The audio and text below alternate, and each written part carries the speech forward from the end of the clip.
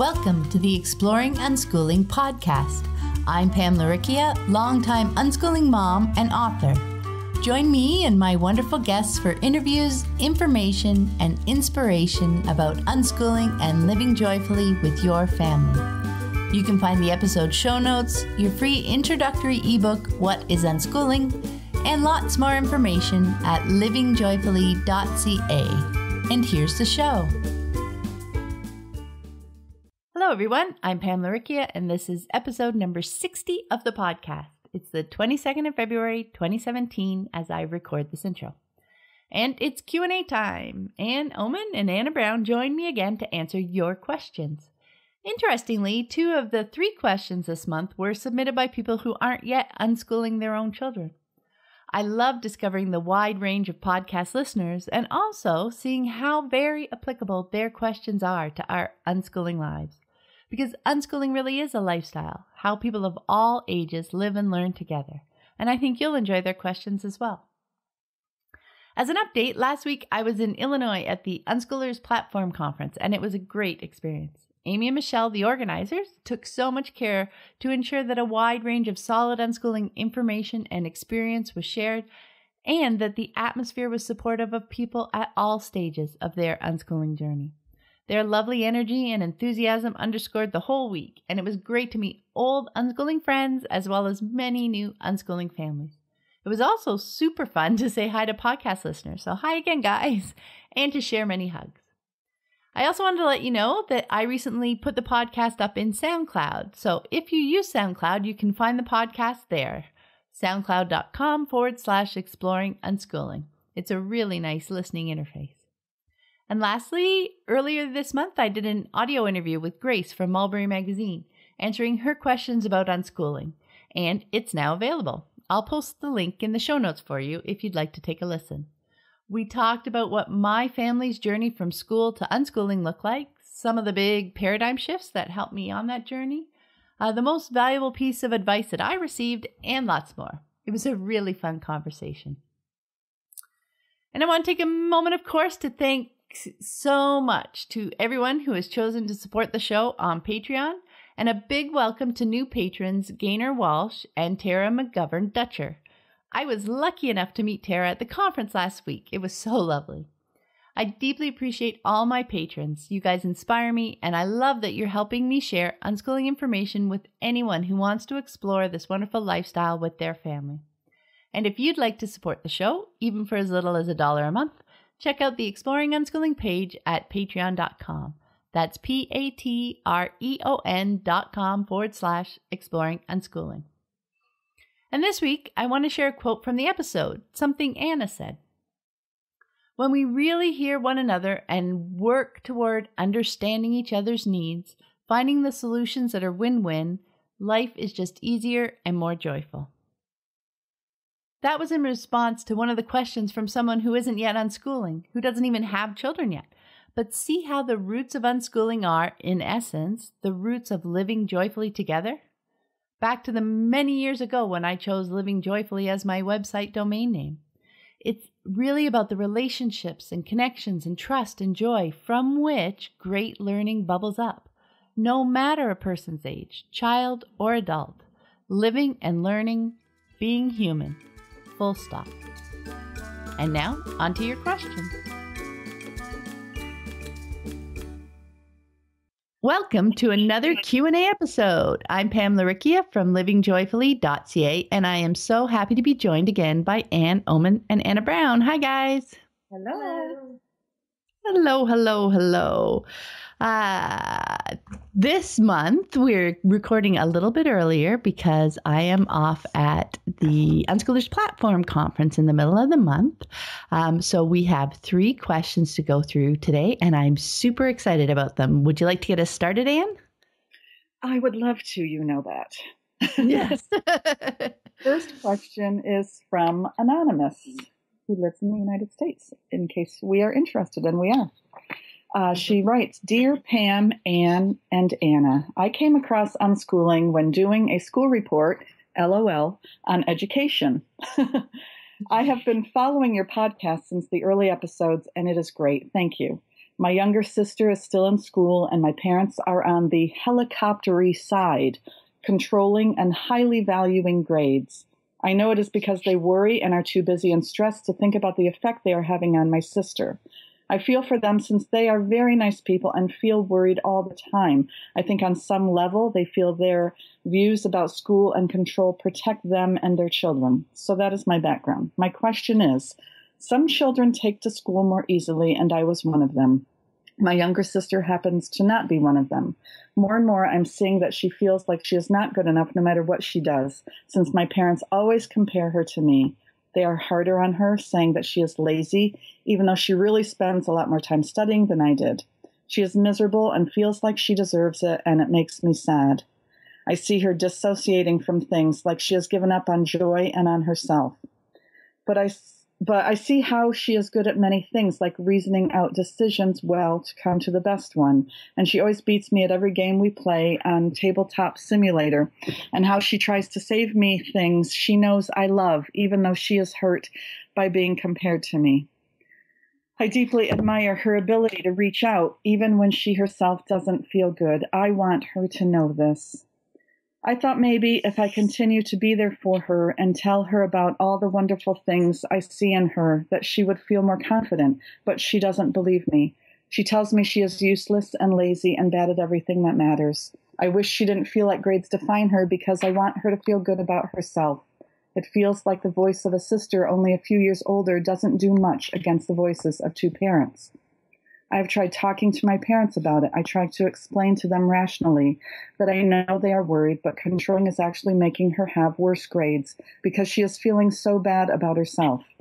I tell them the effect this is having on her confidence and that I know they want the best for her, but they said that's good. It'll motivate her to work harder. They say I should mind my own business, that my sister's education is her own responsibility. But all I see is that she's being motivated to give up on herself they say they are too busy to read any articles, and I think that even if they did, they would be offended and hurt. How could I, their daughter, tell them that their parenting needs work? I think it would hurt them too much. I know it is not my fault, but I always feel like if I were more charismatic or wise or something, that I could get through to my parents, that I could convince my sister to see the good in herself.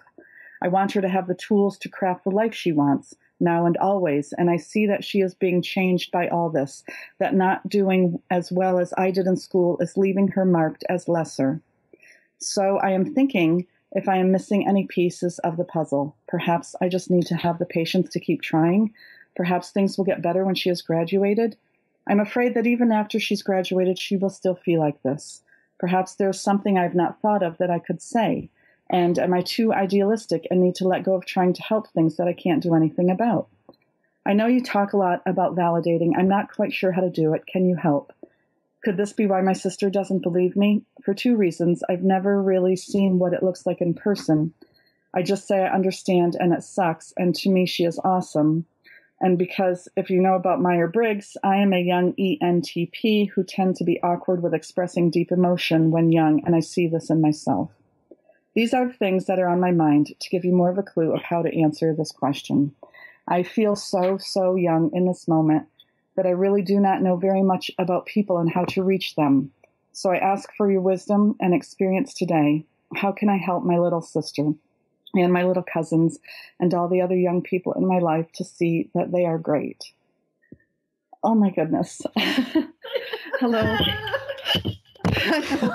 Hello, dear one dear one, dear one. I'm just reading that out loud. My goodness, you are touching the world in so many ways, and my heart is just so full of love for you. You are not so young. You are so wise and aware and seeing. And I've got to bring get together so I can answer your questions. um, first of all, thank you for your love and your empathy and your desire to learn more about unschooling and your deep desire to help your sister and really all of the young people. What I love to see is how this path touched you and it's in alignment with a truth that you have inside of you and that's why you're drawn to learning more about it. And that's why you want to share it. You want to shake your parents and let them know about it. And you want to help your sister with it. uh, as I say, you're making the world a better place because of doing so, because of listening to and following this, your instinct and your questions. And that is so huge. And I want you to know that. This is huge, your impact on the world already, just by being who you are and feeling these things. And thank you for that. Um, I love this quote from Neale Donald Walsch. He's the author of the Conversations with God books. He says that it is our job to give people back to themselves. I do this as much as I can every single day.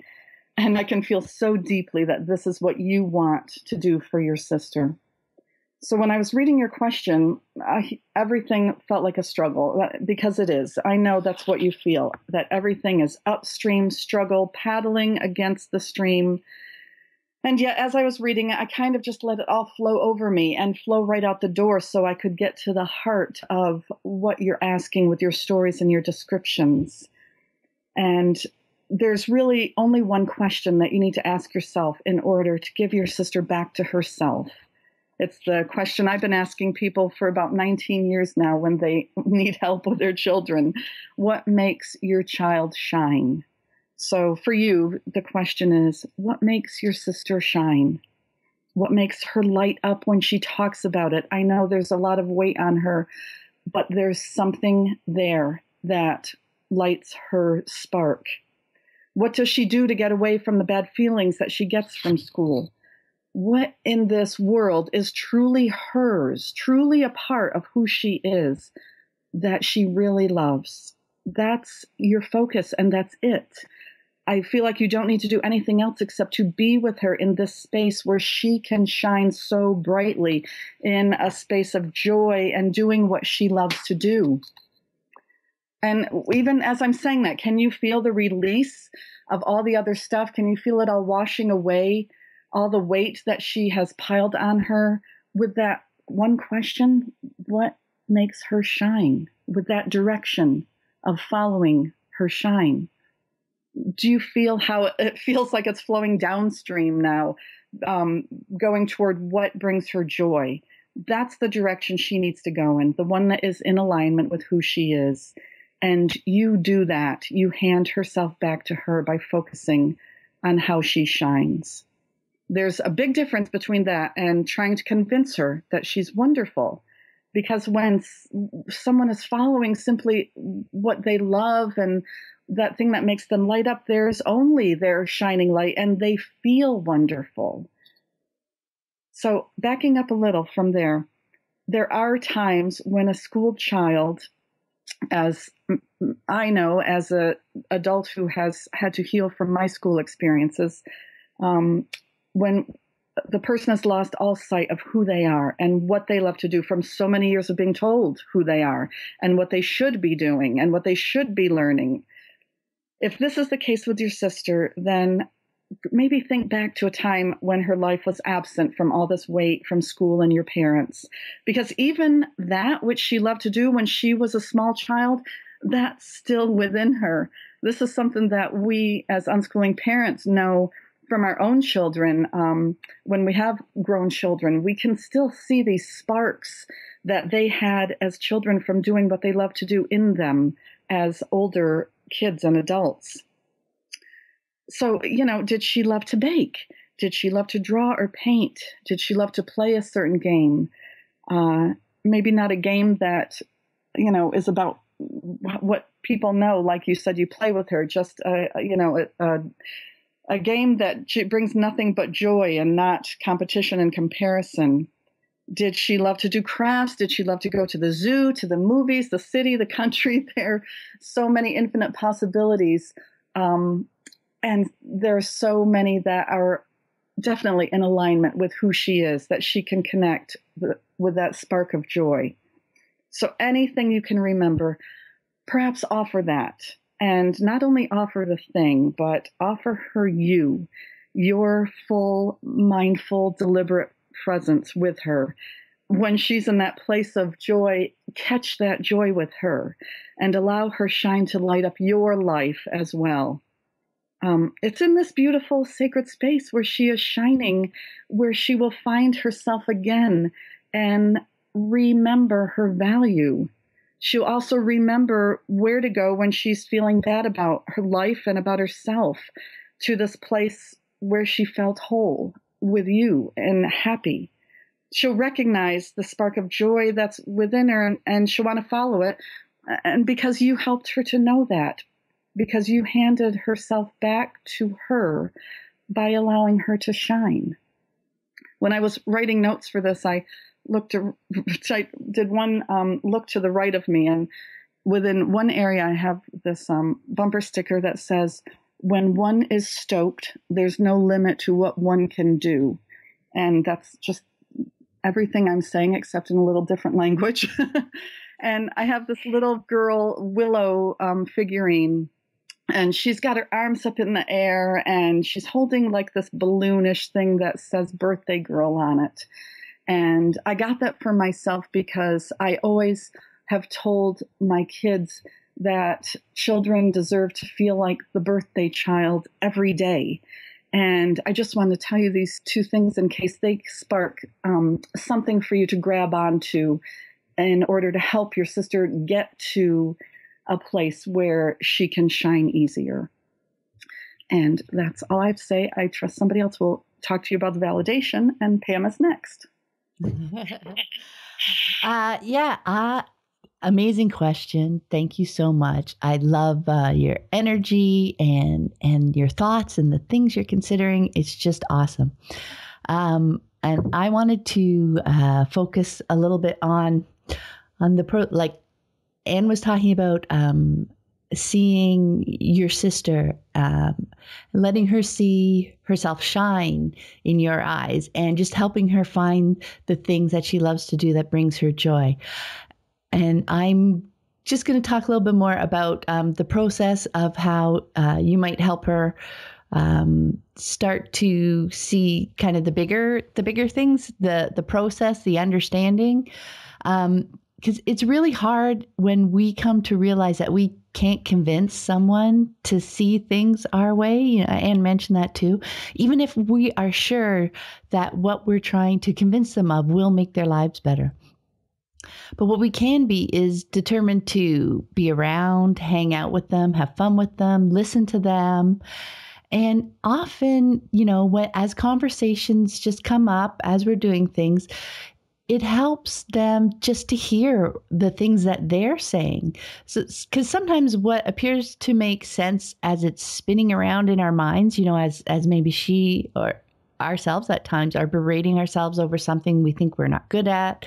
Um, it's the there it starts to crack when we say it out loud right there's just something about sharing things and saying something out loud even if um, the other person doesn't particularly uh, react or say anything about it. It's almost like being able to say it out loud for ourselves is another level of understanding. And sometimes in there, an opportunity shows up for us to plant a seed, um, to uh, validate what they're sharing, to share an observation of our own that connects. It's about meeting them where they are in that moment really being with them instead of trying to keep um, pointing out a new way that they should be seeing something. Join them exactly where they are and empathize, empathize with them where they are in that moment instead of trying to, and just stay there instead of trying to um, convince them or change their perspective in that moment. Because we can't make them put together that new picture, but we can be around and available um, anytime that they are looking for a new piece of the puzzle or, or they find a new piece and they're trying it around, turning it around, trying to see if it um, fits in a new way. Because I know when I found myself in similar circumstances, I totally remember feeling that if I could only figure out that one right thing to say, then that other person would understand and they would feel better about themselves. They would feel better about, they would understand uh, my perspective. They would see things the way that I saw them. You know, um, whether it was my in laws, if I could just explain unschooling to them in the right way, they would see that this was great. You know, just the way if, if you could explain to your sister that she's a wonderful person the way she is right now, who she is right now is awesome. If she could just see that, all would be well. But it took me a while to realize that this just wasn't true, you know. What's worked for me most consistently ha- is to just focus on being a great listener, to be a comfortable, supportive sounding board, not with an eye to inserting my perspective on things, but to just actively supporting them where they are in that moment as they are trying to figure out their own perspective. So it's more about my open um, energy in the moment that that whole sh- seeing the shine and and being um, positive and accepting in that moment rather than trying to use words on top of it. We're there trying to help them figure out their perspective. So, yes, your parents' perspective and your perspective are different, and your sister's is too from all three of you. Um, and she'll, in time, develop her own perspective and understanding on learning and life and what success looks like. Um, just focus on having that fun time with her where she is. And the whole question kind of reminded me of a blog post that I wrote um, in my Hero's Journey series about accepting others where they are in that moment. And I will link to that in the show notes. So that was my little piece. How about you, Anna? Um, uh, well, First of all, it was just I know, right? I mean, and it took me. I thank goodness Anne was answering because I had to compose myself during most of her her response. Um, but and you guys really covered so much. I guess I did just want to suggest that I believe and have seen that every connection and kind word that you have with your sister will really stick with her. Um, I was reminded that in my 20s, I worked with um, children who had been in really difficult, abusive situations. And I remember this um, one teenager who was in a really horrific situation, and she was describing this event when she was at a store with her parents and there was an incident and uh, it was difficult but a stranger approached her and came up and offered her just this small bit of love and kindness and this had been about 5 years prior to our conversation and it that one little act of kindness stuck with her all of those years and when she told that story you she lit up with that love from that stranger in that moment. And what you're describing here is this deep abiding love that will definitely stay with your sister and help her find her confidence as she's going on her own path and knowing that you'll be supporting her along that way. It's just really beautiful and I wanted to also just say that you had mentioned early that, oh, this may not apply to people, but I think it really applies to all of us because we all run across people in our lives or in our children's lives who maybe are in controlling situations or in difficult situations, and sometimes we don't know what to do. And I think everything that Anne and Pam has said really applies because in any of those situations, we can truly see and hear and honor someone. And that means so much. I mean, more than really we'll ever know what they take away from that interaction of truly being seen and heard. And I've been lucky enough to be with Anne at the library. And I've seen her do that, and also just with other children throughout different situations, and how those kids light up with that just love that be of being seen and heard. So anyway, I think there's lots for everybody to take away from all of this. So thank you so much for that beautiful question and sharing your love for your sister with us. Yeah, because even with even with our own kids, you know, there are times that our kids are feeling bad about yes. some something that's happened in their lives or whatever, you know, and we oftentimes we we want them to feel better. We want, you know, to help get them out of that space but you can't just convince them with words so right. often right so often yeah. it's it's just about being with them in that space that's the validation piece right. is just being okay with them in that space and understanding and accepting that yeah this feels like crap right now right, right? right. and and maybe not owning it yourself that's the important yeah thing is right. to validate and say, and you said that you say this sucks and I hear you, and that's it. That's plenty. That's acknowledging where she is. And you don't want to own it um, yourself and carry it over. You know what I mean? But you do want to deeply, sincerely validate. And I just wanted to add one more piece about um, uh, Anna, what Anna was talking about reminded me of my entire childhood. um, mm-hmm. My my parents were divorced, and my older sister and I had a difficult time um, at our home with our mother and um, stepfather and step siblings, and we would go to our father's house on the weekends and uh, to this day, I tell him that he saved our, my life and my sister's life because his focus was simply on bringing us joy. And he continues even now talking about how it was his joy to give us joy. So when we when he would pick us up, we knew we could leave everything behind and get in his car and he would have, he would take us to the park. He would take us on trips. He would, you know, just everything focused on what would be fun for us. And um, it's, you know, Anna was saying about that one person making a difference. And this is, it makes a huge difference. I knew I was seen, heard, valued, and loved even though I only saw my father a fraction of the time. Um, so this that's uh, you know part of your piece, huge part of your piece with your sister, and my God, with everybody you meet, probably. You know what? I'm going to add something in the show notes too, because um, when you talk about those moments, you know, where just somebody um, happens by and says something or does something that's really uh, a positive effect in your life, even if you don't know them. Um, I watched a TEDx, a short TEDx talk uh, a week or two ago. It was called Lollipop Moments. He called those moments Lollipop Moments.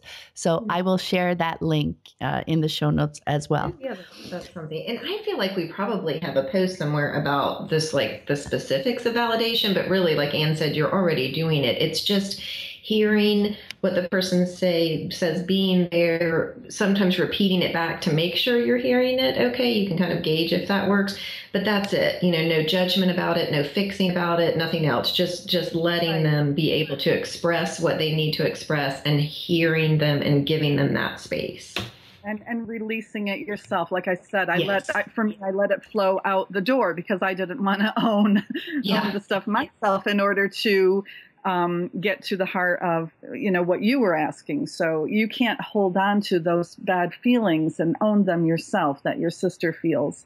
Um, that's that's an important piece.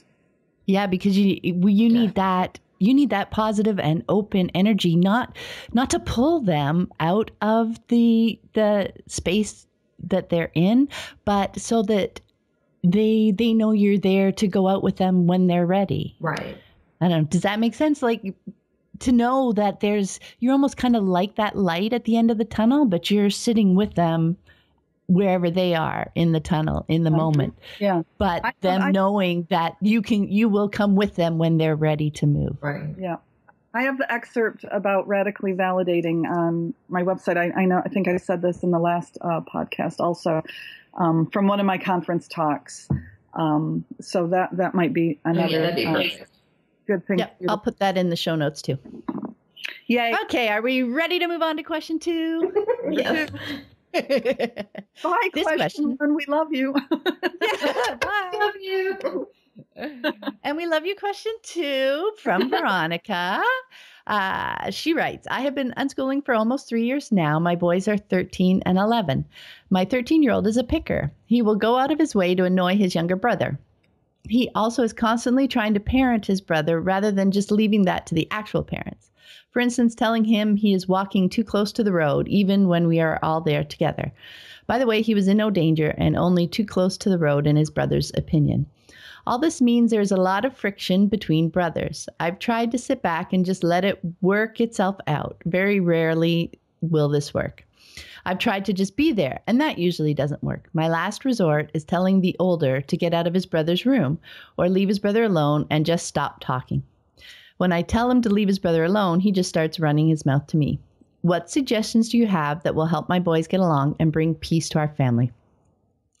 Yes, definitely. Thank you so much for your question, Veronica. I can hear how much you would like your family to feel peaceful and safe um, for for everyone, for every individual in it. And I think it's an important aspect to our unschooling lives, and it's so meaningful to me that I actually wrote a whole talk about family harmony um, and how I've seen that play out. Uh, my talk's called uh, Family of Individuals, and I shared it on the podcast in episode 48. So I will definitely include a link to that in the show notes in case you haven't had a chance to listen to it. But the gist of it is that conventionally, when we're looking at our children's relationships and asking, asking them, or even just asking ourselves, why can't you guys just get along? We tend to focus on the interactions themselves, like the picking that you mentioned.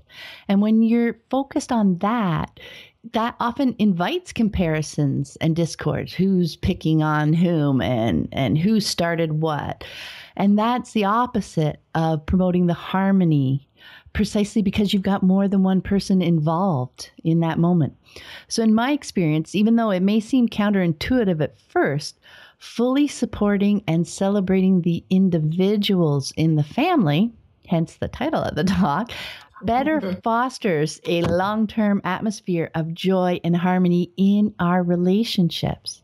Because what you've described are relationships that are based on power and control. And what I think you're looking for are relationships that are based on connection and trust. And it's not easy to move from one dynamic to the other, but I definitely think you'll find it worth the time and effort because that is where you're going to start to see some of this peace and some of this um, harmony and a, a greater ability um, to connect in relationships, even between your sons. So it will help to move away from focusing on the interactions between them and instead focus on the individuals, on your sons. So the idea is that instead of stopping these power-based interactions once they once they start, you want to help them both feel comfortable and understood so that they don't feel the need to exert power over each other in the first place. So I think the key to moving in this direction is having lots of conversations entirely outside of that relationship dynamic. So rather than trying to work things out only when things have already started, and you talked about a few of the things that you tried from, you know, leaving them on their own to do it to just being a presence in the room to getting directly involved um, I think you're going to have your most helpful conversations one on one when things are relaxed and you're feeling connected to either one of your sons. So when you're chatting with your 13 year old, you can validate, like we were talking about, his frustrations. And you truly need to see them from his perspective and understand, you know, why he's feeling that way. Totally um, ex- accept it. I mean, he's feeling that way. That's it. You know, start right from there. You can chat with him about his motivations and his needs in those moments and brainstorm ways that you can um, help him meet those needs that don't conflict with his siblings' need to feel um, safe in his family they both have the right to feel safe and understood. So, in the situation you're describing, for the 11 year old to feel safe and for the 13 year old to feel understood. You can have conversations about whether control is a useful tool in a long term relationship. Talk about other ways that he could share his thoughts and concerns that are more likely to be heard by others rather than putting the other person on the defensive. Because as he's trying to communicate, he's the one um, getting in, in trouble in the situation. So, you know, he's not being heard and he's not feeling heard. So often these control tactics are what we reach for when everything else we've tried has failed. So maybe he's trying other things earlier on to communicate, but he's not feeling heard. So if you can be extra diligent to hear and acknowledge what he's saying before he gets frustrated enough to use those power tactics um, be clear, definitely in conversation, that it's not okay to tease and annoy his brother, that his brother has a right to feel safe, but not in an angry or shaming way, in a matter of fact way, in a way that you're trying to help um, your frustrated 13 year old son uh, meet his needs. Well, the constraint is you can't be at the expense of someone else's um, need to feel safe or right to feel safe. So ask him what he would like you to do next time you hear this happening. You know, this isn't okay. Um, what can what would be good for me to do next time I hear this happening. So you maybe you can try to figure out a way to catch his attention that doesn't also shame him. Maybe it's a code word between you guys, or maybe say, "Oh, you know what? When I hear that's happening, I know you're getting frustrated. I, will come and we'll go watch one watch." your favorite show or uh, have get a snack together or something where he feels in that moment that you're trying to help him not berate him for what he's doing and then, you know, this is what takes the time and effort, the conversations and being close by for a while, again, so that you can sense when that frustration's building and help diffuse it before it bubbles over into teasing and control. You can ask him not to parent his sibling. Chat about what his motivation is when he's doing that. Brainstorm different ways that he might express his concerns about his uh, sibling's safety without giving orders like maybe um, telling you, you know, when you feel the need uh, to tell him what to do, come and chat with me and we'll figure out uh, what's going on in the situation. Treat his concerns as real and take them seriously because they are his truth. Even if you don't share the same concerns, this is how he's seeing things and celebrate all sides of him, just like we were talking about in the last question. His interests, his passions, his feelings, his frustrations, they are all beautiful pieces of him. And let him see himself shining in your eyes. And then do the same thing for your 11 year old because this this is the whole relationship piece. Chat with him when things are relaxed. How does he see his brother's teasing behavior? What does he think it's motivated by? Uh, brainstorm some ideas of things that he can do when it starts to happen. Tell him what your plan is with your brother for next time um, and make plans with the 11 year old for what he can do to help the situation or diffuse the situation. Share your growing understanding of your uh, older son's perspective as you learn more. So I remember when my kids left school and started spending all of their days together. That first year or two, I spent a lot of time chatting with them individually, validating their needs and perspectives, sharing their siblings' per- perspectives, um, not with an eye at all that anyone was right or wrong in the situation. The situation just was. And what we were trying to do was gain a better understanding and come up with plans on what we might try next time one of them got frustrated and talking about how that plan worked out and tweaking it again for next time. Um, this was so much about them learning and about themselves and understanding um, themselves as well as understanding their siblings and how to um, relate to each other and move through different situations. And these were very rarely in big sit down conversations, but in relaxed moments when an opportunity came up. So maybe when you're driving one of them somewhere or you're hanging out, I don't know, folding laundry, right, Anne? or hanging in the kitchen while I'm making dinner. These conversations truly do come up while you're doing something else. And they're often an opportunity to, to chat without pressure because things are open in the moment and someone can share.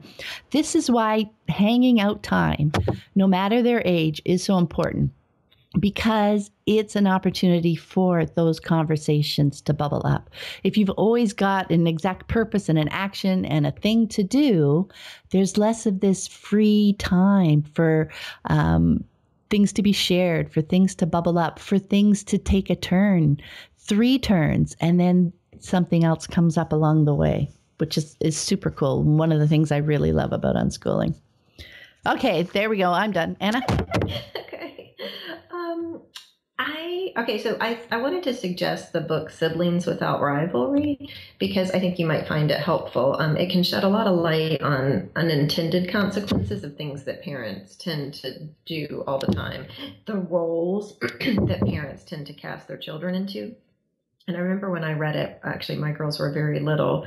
I had a lot of aha moments about the relationship between my husband and his brother at the time. So it's just, I think it's just a full perspective um, for me, it wasn't about letting them work it out or directing behavior. I feel like there's a lot of room in between those two extremes, and and a big piece of that is validation that Pam mentioned. And I often served as a translator.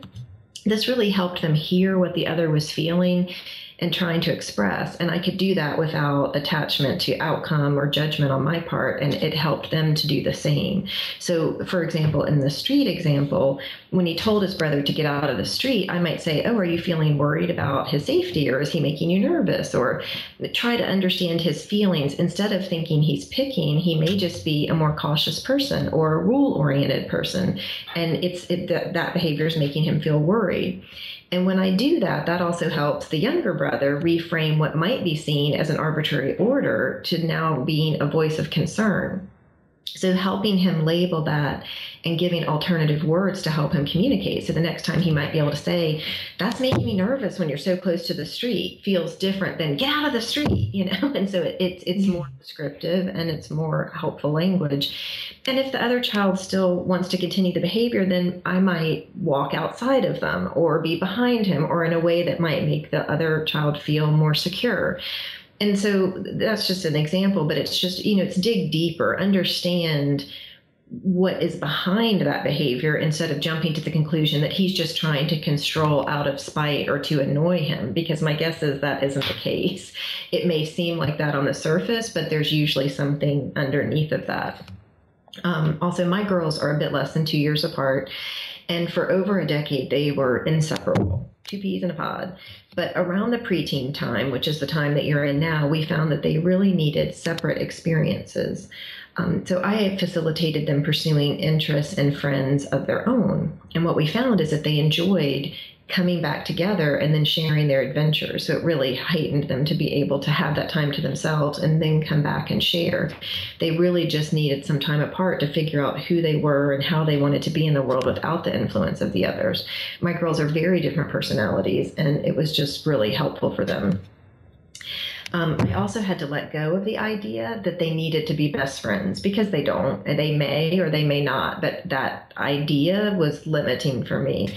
Um, none of us want a contentious environment, and sometimes space and pursuing our own paths helps us to not feel so pinned in by your sisters, you're supposed to be best friends, or these kind of cultural ideas.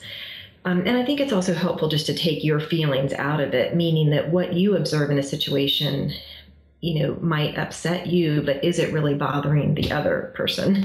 And so i had to take my feelings and hot buttons out of it and really look at them and see what was important to them. And then i could help facilitate resolution. So it was taking my childhood experiences and my hot buttons out of it, I was able to see who they were and help them communicate to each other. And that, again, it's kind of getting under that surface level of the behaviors to the needs and what's behind it. So, those are some things um, that were helpful to us. Anne?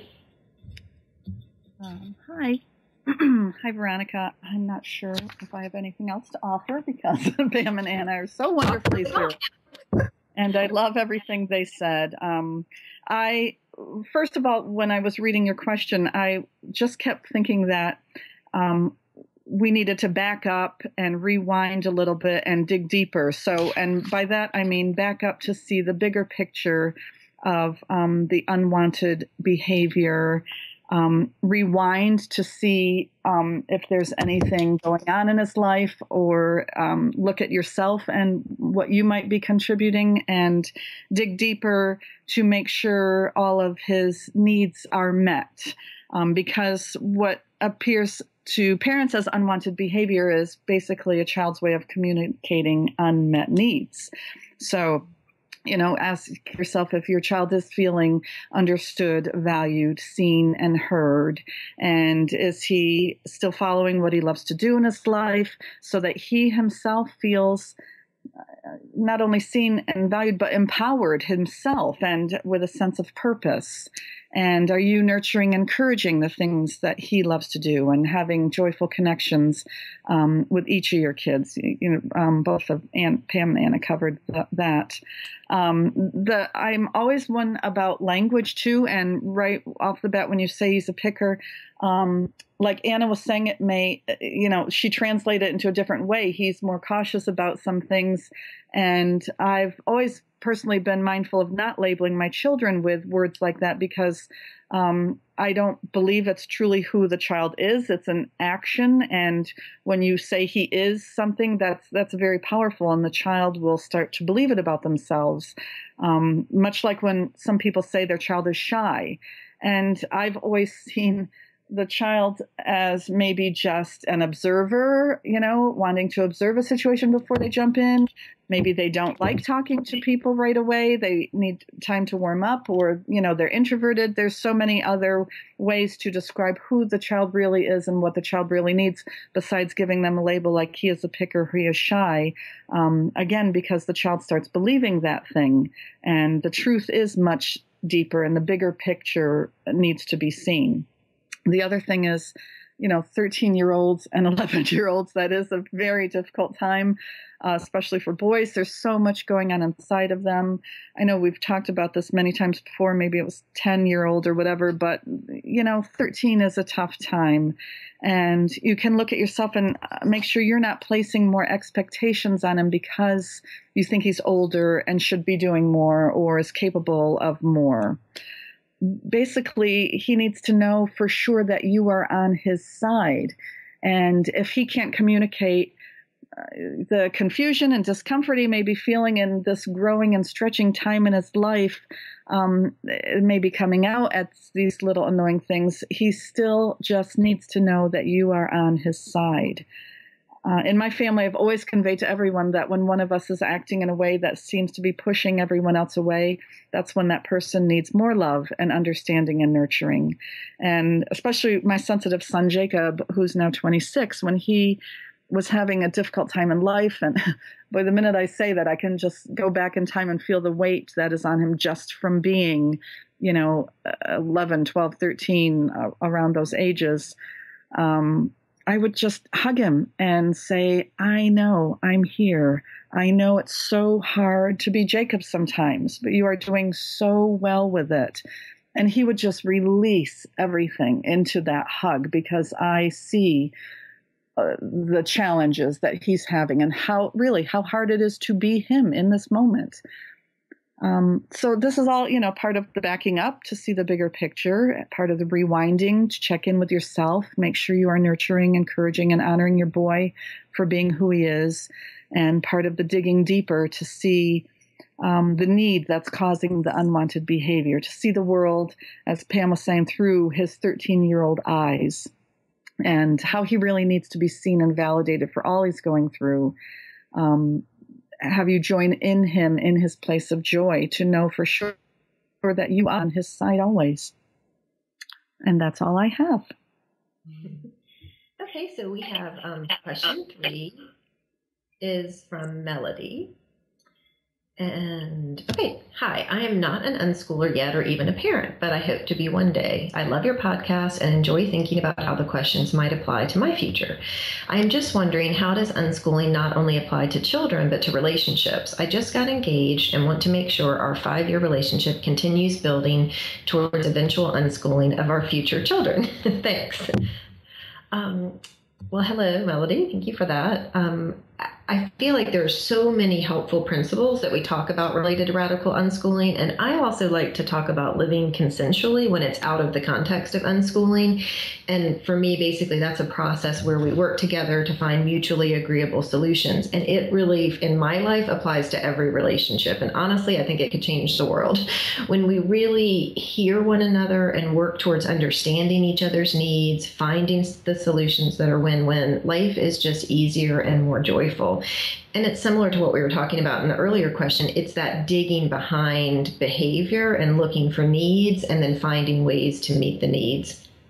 And I talk about that on my website with some articles and, and how that applies to some different situations. Um, I think you'll find if you model that kind of relating in your marriage and in your life and other relationships that it will naturally lead you to respecting and honoring your children. And so often we find that that leads to unschooling and this amazing life that we're talking about every month and Pam every week. and so that's all I wanted to say about that. Pam, what about you? Um, definitely another great question. And just to echo what Anna said, um, live the lifestyle that you're looking for this kind of lifestyle now that you want to bring your children into. So, yes, meaning a supportive relationship that isn't based in power, but in that consensual um, working as a team perspective. Be supportive of his interests and passions and his learning. Follow your own interests and passions. Have conversations about the things that you're learning every day just through life so that, mm-hmm. you know, he sees it, you see it, um, you're, you're living it already. Share your thoughts around parenting and learning and homeschooling and unschooling as conversations about children come up. So it's better that he not be surprised by your perspective later on, but it's something you guys can talk about and bang around now. So, yeah, just living that uh, learning and growing, unschooling lifestyle now. And then your kids will be added to the mix along the way and they will just be uh, more team members, you know, just uh, another person to incorporate into your days. And Hi, Melody. I really love your question too. Um, I have always said that unschooling is a gift for the whole family.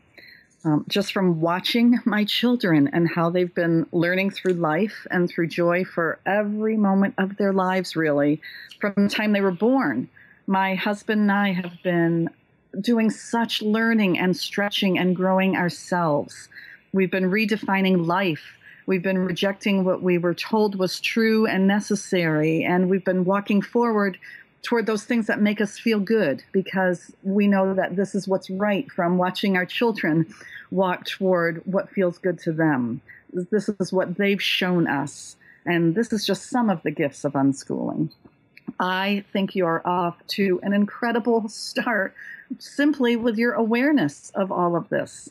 If you uh, uh, hold on to your awareness about everything the way you are aware of this, you are already laying the foundation for connected, beautiful relationships, respectful, mutually respectful.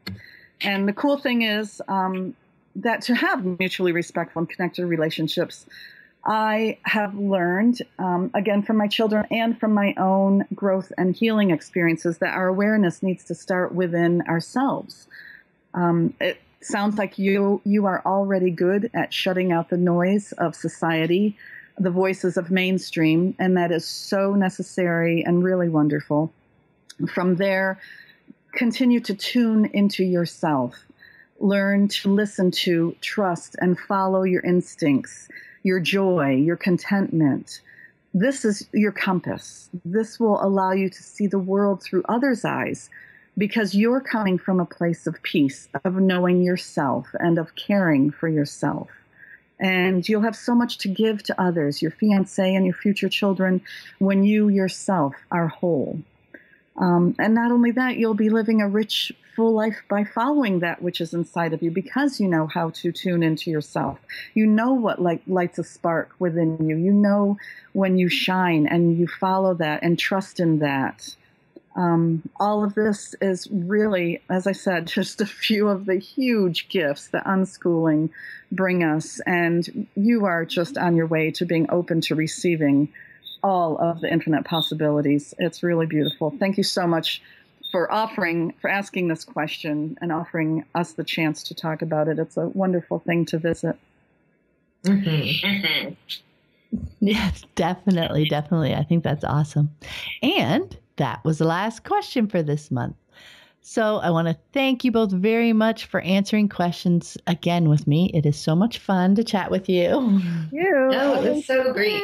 And I just have to say, on a completely unrelated note, I live in a house that's kind of like a tree house. And so, right outside my window, about 15 feet, there's this tree with a hole, and a squirrel the whole time has been building a nest. And he's so busy. He's up and he's Aww. cutting branches and he's bringing the branches back in. And it's just like, I don't know, it was just really peaceful and lovely. Sharing that imagery with you. oh, thank you so much. That's awesome. Perfect. It is. And just a reminder for everyone like little branches, there are going to be links in the show notes for all the things that we've mentioned so that you can go and gather all the stuff that might be interesting for you in building your unschooling home. Wow, that worked pretty well, didn't it? all go build nests now. and as always, if you would like to submit a question for the Q&A show, just go to livingjoyfully.ca forward slash podcast and click on the link. Have a great day, everybody. Bye. Thanks, everyone. Thanks for listening. I hope you found it helpful. You might also like the backlist episodes at livingjoyfully.ca forward slash podcast. While you're there, be sure to check out the first book in my Living Joyfully with Unschooling series, Free to Learn Five Ideas for a Joyful Unschooling Life. In it, I share the five paradigm changing ideas that most help me better understand unschooling. Reviewers have said a quick read, but packed with ideas that challenge the dominant paradigm of our failing approach to learning, this little gem makes an excellent argument for unschooling. And I was rather doubtful about this book, as I had never heard of the author, but after reading it, I wish that I had read it years ago. I hope you find it helpful too. Free to Learn has also been translated into French and Spanish. Until next time, have fun living and learning with your family.